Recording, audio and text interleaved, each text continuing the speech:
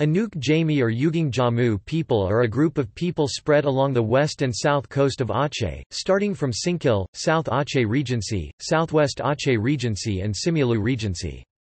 The Aneuk Jamee people are originally Minangkabau people who have migrated to Aceh in the 19th century, and intermarried with the Acehnese people, Kluet people, Singkil people and Devayan people. In terms of language, the Anuek Jamee language is considered as a dialect of the Minangkabau language that have a mixture of Aceh's native languages. Etymology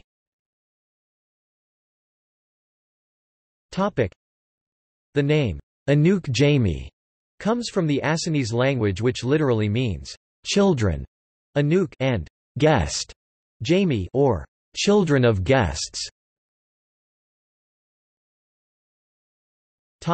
History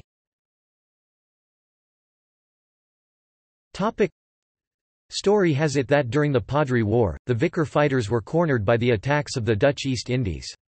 The coastline of the Minangkabaus at that time were a part of the Aceh Kingdom, sent military aid. When the situation became critical, the people were forced to leave. Thus at that time, the Minangkabau people started to spread towards the southwest coast of Aceh. It is also said that South Aceh Regency was a stop by for pilgrimers from West Sumatra sailing for Mecca. Diaspora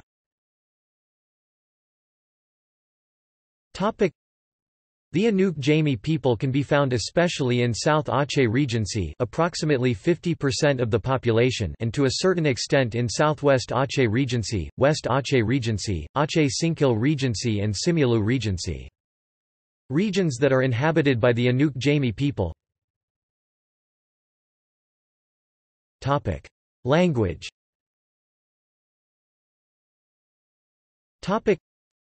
Minangkabau language is still used by the Aneuk Jamee people but the language is assimilated with Acehnese language, thus making it Jamee guest language.